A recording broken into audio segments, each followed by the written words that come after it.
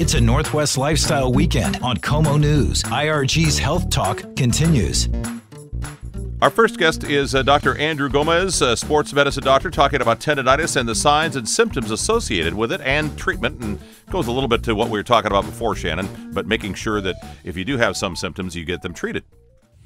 That's right. I mean, tendonitis is one of those injuries that you want to treat early on, get it when it's acute before it gets to that chronic stage, and then it's difficult to kind of recover from and return to functional activities. So keep an eye on these tendonitis symptoms we're going to talk about with Dr. Gomez. All right, Shannon O'Kelley, Dr. Gomez on KOMO.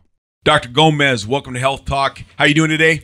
I'm doing great. Thanks for having me, Shannon. I really appreciate it. Yeah, thanks for coming in. Hey, I want to find out about your practice. I want our listeners to understand what you do. You're a sports medicine physician, but talk about your training, your interest in sports medicine, and give us a day in the life of Dr. Gomez in your office, what you do.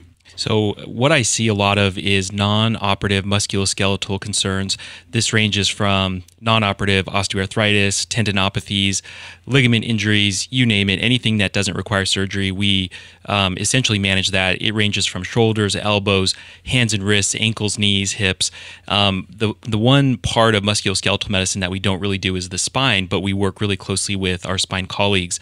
But we see the gamut, we see a wide array of different injuries. Why sports medicine for you? I mean, trained in family practice, then did a fellowship or some kind of uh, special training in sports medicine? Yes, exactly. So even before I started medical school, I knew I wanted to be into prevention. And I was always an active kid, and I knew that exercise and nutrition really decreases the risk for a lot of the things that people seek uh, care for in the healthcare system. We're talking diabetes, high blood pressure, um, hyperlipidemia, all of the cardiovascular risk factors and things that can hurt us. So I knew going into it, I wanted to manage patients from the preventive side and sports medicine was a natural fit i did um, residency training at university of washington and then fellowship training in sports medicine over at swedish in cherry hill Oh, nice, nice. So, uh, are you local? Did you grow up here, or just go to medical school residency at UW? so i actually grew up in arizona my dad was in the military we traveled Oh. quite a bit my mom put her foot down so we, we stayed in arizona for most of my youth There you go. I did medical school in New York City at Columbia University and then came all the way across the United States to Seattle to University of Washington to their family practice residency program because I knew it was a really good program. And that's how I found myself in the Pacific Northwest and I've loved it ever since. Yeah, well, you've got some great training and well traveled. Let's talk about a topic that probably is a one week conference, actually, but we're going to talk about tendonitis, but um, also sometimes referred to tendinopathy. You mentioned tendinopathies. Let's talk about tendonitis. Let's talk about it from a histological standpoint. I mean, what's going on in your tendon, how it becomes inflamed, tissue changes, and then the intervention. It's a big topic, so let's get going on that. Well, I- mean, all of those different topics within tendinopathy, the etiology, the pathogenesis, the management, again, textbooks written on this stuff. And it's primarily understood to be overuse, and the tendon will get these microscopic injuries. Now, tendons are primarily made of type 1 collagen. Um, there's a lot of other complex histopathological structures that you can see microscopically when tendinopathy occurs. But typically, to keep it broad and to keep it simple for the audience, essentially what happens with tendinopathy is the the architecture of the tendon changes a little bit. The majority of a healthy tendon is made of type 1 collagens. There's other things called glycosaminoglycans and other things that I won't bore you with. But with with tendinopathy, basically it's the tendons are relatively avascular. They don't have a great blood supply. So when they get injured and you continue to load the tendon, that injury continues and you don't really um, have the typical repair mechanisms. You get deposition of type 3 collagen. The tendon thickens up. It becomes painful when you load it. And it's associated with decreased function of the tendon and it often becomes painful. And that's when we see patients. Um, now, there's a lot of things you can do for tendinopathy, and I'd be happy to kind of dig into any specifics that you may. Yeah, we want to get about. into the treatment, but I mean, before we do that, I mean, I just want our listeners to understand. I mean, essentially, to kind of summarize, a, a tendonitis occurs at the muscular tendinous or somewhere in the tendon. Tendons attach muscle to bone. It's a fibrotic tissue, almost like a, like a rope, kind of a mm-hmm. cord. And so you irritate that by stretching it or, or, or you know over overusing it.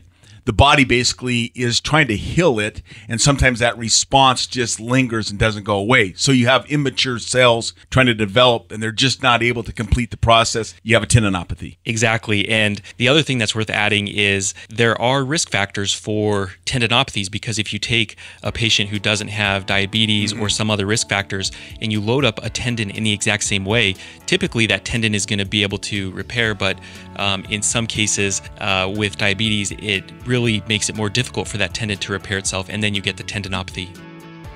More with Shannon O'Kelley and Dr. Andrew Gomez next on KOMO. It's a Northwest Lifestyle Weekend on KOMO News. Now back to IRG's Health Talk. We continue our conversation with Dr. Andrew Gomez and Shannon O'Kelley. Dr. Gomez, again, thanks for joining us here, and thank you for taking time to talk about tendonitis, tendinopathy. But this is a difficult thing sometimes. It goes from acute to chronic. How do you treat this tendonitis? Typically, again, I, when I am managing a patient, I like to take a multidisciplinary approach. So I work really closely with a physical therapist. And the eccentric loading piece is really, really important. And there's also research into heavy, slow resistance training. And both of those are comparable in terms of the outcome. Now, in terms of the the appearance and the architecture of the tendon, heavy, slow resistance training has been shown to be a little bit better from that perspective. And we, you know, will give patients over the counter analgesics, other medications, there's topical creams. Now, getting into the interventional side of things, if a patient has a tendinopathy that really they get a mediocre outcome with rehabilitation, they're still having symptoms, then we really start thinking about injection based therapies. And this mm-hmm. runs the gamut from corticosteroid injections. And just a quick plug about corticosteroid injections obviously, not the best approach to tendinopathies really primarily because the corticosteroid can be catabolic. It can break down the mm-hmm. collagen a right. little bit. Now, there's nuances in terms of where you put it. Nobody is putting corticosteroid inside of tendons, but in the peritendinous region around the tendon, it's reasonable to consider doing that in certain instances. Now, to get into slicker treatments, there's dry needling or wet needling, basically poking the tendon.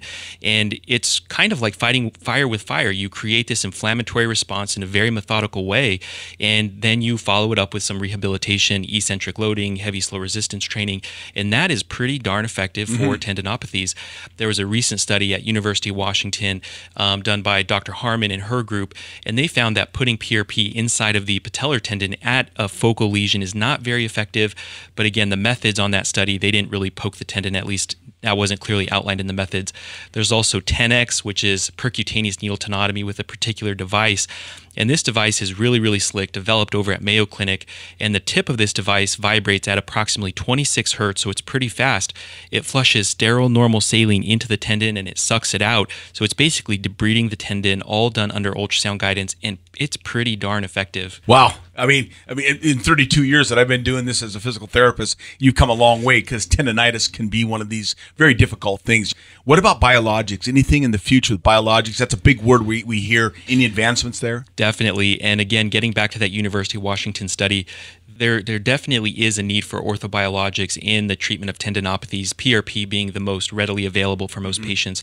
There's also a lot of research ongoing about mesenchymal stem cell treatments, adipose-derived mesenchymal stem cell treatments, bone marrow-derived mesenchymal stem cell treatments. The jury is still out, but definitely lots of research ongoing, and it shows some promise in certain indications. Well, when you talk about promise, I mean that's got to be encouraging for patients out there listening with these chronic conditions. I mean there is hope with a combination of physicians and physical therapy. That's a great collaborative effort. We can get you better. So great positive information. Thank you, Dr. Gomez. You're very welcome. All right, we've been talking about tendonitis with Dr. Robert, uh, excuse me, Andrew Gomez. If you'd like more information, providence.org. And uh, tendonitis, I would imagine, Shannon, is a pretty common ailment that uh, you and your uh, gang at IRG are treating. Oh, we see a lot of tendonitis, Tom. I mean, and and it is one of those injuries that, as a physical therapist, I mean, we want to see it early because, again, the opportunity to return people to pain-free functional activities just improves from a data standpoint. But tendonitis turns into uh, the word in actually today is tendinopathy, and that's where this tissue is inflamed and trying to reconstruct, and there's just all this stuff going on in these uh, cells that are trying to heal your body, and you got to take care of it early. But it can be prevented with good conditioning, good warm ups, and uh, understanding the symptoms. We'll continue with our next guest, Dr. Michelle Walter, next on KOMO.